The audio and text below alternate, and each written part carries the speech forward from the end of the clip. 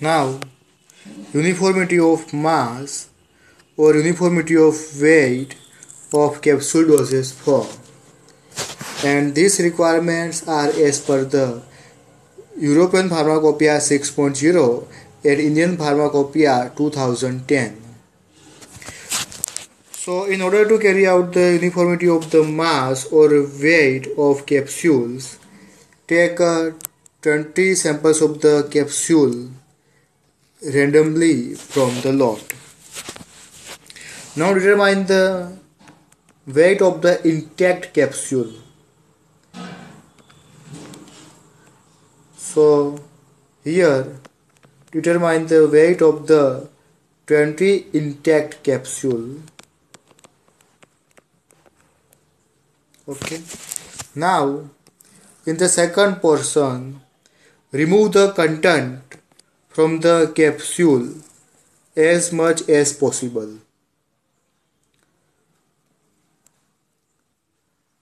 In case of the hard gelatin capsule, you open the uh, two shells and remove the content as much as possible. In case of the soft gelatin capsule, you remove the content and after removing the content, you wash the capsule shell with suitable solvent and allow the solvent to evaporate so that the odor of the solvent is uh, no longer perceptible. Now you determine the weight of the empty capsule shells. Here now the weight of the empty capsule 1 2 and so on. Here you have determined the weight of the intact capsule and here you are going to determine the weight of the empty capsule. Now the difference between these two will give you the amount of the content that is the weight of the content calculate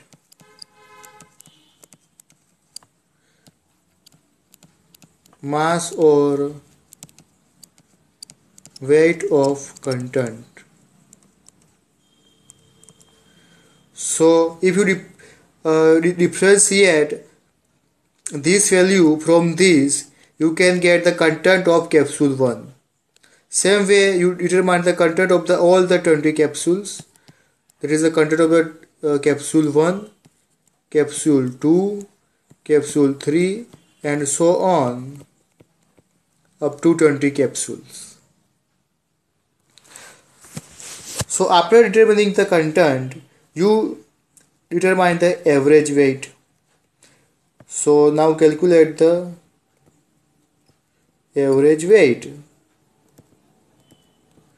Suppose in our case, the average weight is 200 milligram is the average weight. Now,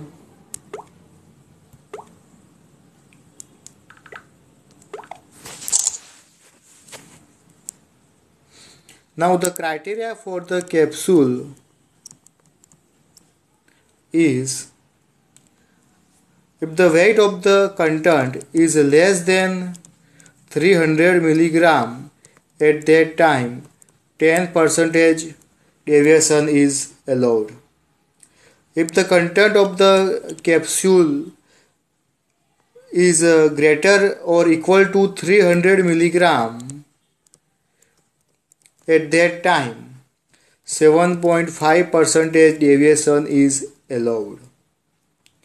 In our case the average weight we got is 200 milligram from the earlier exercise. So that our case would be this less than 300 milligram.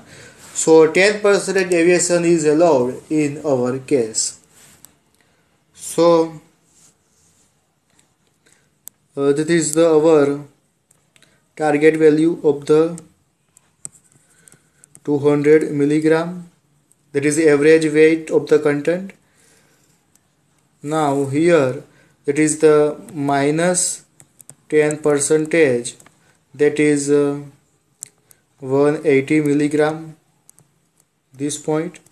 And this point is uh, plus 10 percentage. So it would be 220 milligram. Again the double value of the said percentage that is the 10 multiplied by 2 that is the 20 so minus 20 percentage and plus 20 percentage. So this value is double the value of the percentage deviation allowed. So here it is 160 milligram and over here it is 240 milligram.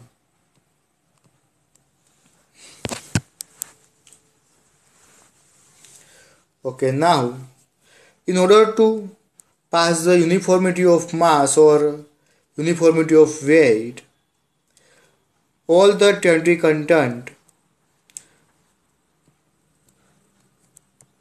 should be within this range or maximum 2 content. Or maximum 2 content are allowed outside the limit of 10 percentage but it should be within the limit of 20 percentage deviation. In this case the capsule comply with the requirements. Suppose here 18 capsules are within the limit of minus 10 to plus 10 and 2 capsules are over in this range then the capsule complies or pass the uniformity of mass or weight. Suppose in the second case, 17 capsules are within this range minus 10 to plus 10 and 3 capsules are within this range. Then the capsule fails. The test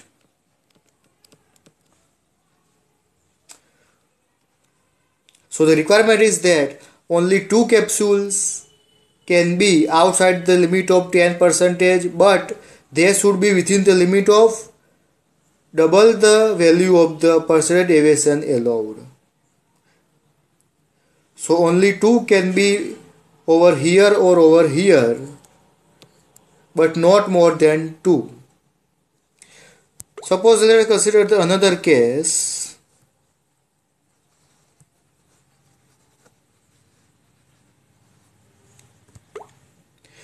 uh, there is a one capsule over here.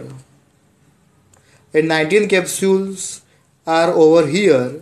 And only one capsule content is outside the 20 percentage limit. At that time the capsule fails the test. Because as per the requirement no content should be outside the limit of double the value of the percentage deviation allowed So this was about the uniformity of mass or weight of the capsule dosage form. So along with the capsules, the same test is applicable for the granules that is uh, uncoated single dose granules then powders single dose powders so this test is uh, same for the capsule for the granules single dose uncoated granules and single dose powders. Okay